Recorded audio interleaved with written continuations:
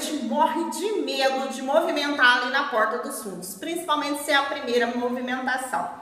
Existem dúvidas, medos e tudo isso compõe para você ficar naquela negativa, naquela sensação. Não, melhor não, deixa eu adiar, uma outra oportunidade. Mas qual é a primeira coisa que você tem que pensar a hora que você fala assim, ó, não, eu decidi, eu quero. O que, que você tem que fazer primeiro? A primeira coisa é você limpar a região, higienizar a região. Existem dois modelos de higienização, mas só que você tem que avaliar qual movimentação que você vai fazer.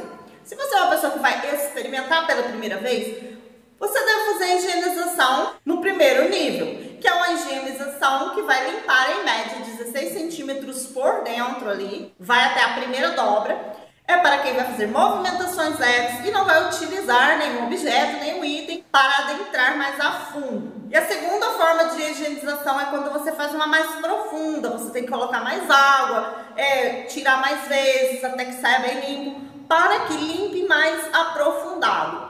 Essa é para quem vai fazer uma movimentação com maior tempo, vai ficar ali muito tempo se movimentando na porta dos fundos. E para quem vai colocar um item, algum objeto ali para complementar a relação. Então, são dois tipos de higienização. A quantidade de água que você deve colocar. Você deve gastar aí três vezes de 200 ml para ficar bem limpo. Mas aconselho é a colocar a água ali até você notar que saiu realmente clarinha, sem nenhuma sujeirinha ali no meio. Mas três quantidades de 200 ml já traz uma higienização básica para você já ficar confortável. Aqui eu trouxe para vocês alguns objetos e dentre eles eu trouxe esse objeto aqui que é um adaptador para você colocar na sua garrafa PET ou você colocar na mangueirinha do chuveiro. Vamos supor, você vai viajar, aí você já tem que levar aquele objeto grande, né, aquele item grande na sua mala. Esse daqui é discreto, você coloca dentro da sua bolsa, você utilizou, você pode higienizar, guardar e reutilizar. Para viagens é ótimo e também para pessoas que saem para balada, para divertir, para curtir, pode colocar até dentro do bolso. Ele vem numa embalagem de papel, tá? E como que você utiliza? Aqui temos uma PET que eu trouxe. Você pode pegar uma garrafa PET, qualquer garrafa, gente, pode ser de água também. A adaptação é bem simples. Você vai abrir a garrafa, você pega o adaptador e vai colocar ele aqui.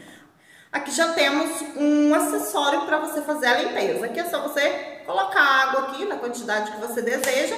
Chega lá, aperta e joga água para dentro. Espere a água, repete até você notar que ficou bem limpo. Esse adaptador, ele serve só para garrafas de PET deste tamanho? Não. Trouxe aqui também uma garrafinha pequenininha, essas de caçulinha.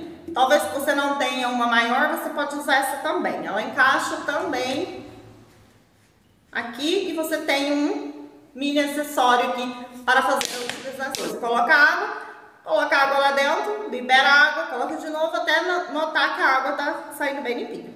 Aí você também pode usar com PET. Às vezes você está na festa, aquelas garrafinhas de água, tudo ele encaixa. Ou você tem uma outra opção, você que está em casa, você pode utilizar onde? Mangueirinha do chuveiro. Ó, você vai pegar a mangueirinha, tá ligada? Essa ponta lá no teu chuveiro, a outra ponta tem um chuveirinho. Você vai tirar ele, vai vir com um adaptador e você vai colocar aqui, ó.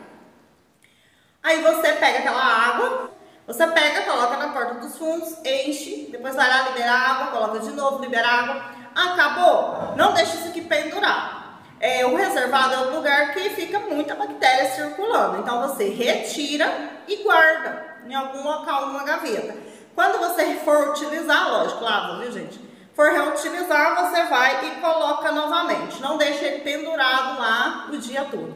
Tendo esses cuidados, você vai fazer uma bela limpeza. E consequência disso, você vai ter mais tranquilidade, você vai estar mais confiante e obviamente a limpeza não vai deixar cheiro, vai deixar você mais confiante e não vai ter surpresas indesejadas. Essa é a melhor forma e é a primeira coisa que você tem que pensar antes de começar uma movimentação. Feito isso, aí você já tem outras coisas, como um bom gel para passar, talvez alguma coisa que vá adormecer a região E aí é muita calma e paciência que funciona. A partir daí, mais calma, paciência, que vai tudo fluir perfeitamente. Esse vídeo foi uma dica de como você consegue fazer essa limpeza com muita facilidade aí na sua casa, ou até mesmo na rua, se você encontrar com alguém e vai rolar, vocês têm ali como resolver o problema assim, ó, para evitar o cheiro e coisas desagradáveis.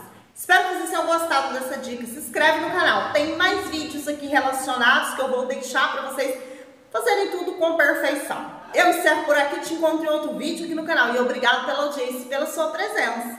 Por causa de vocês é que eu consigo estar aqui todos os dias. Até a próxima!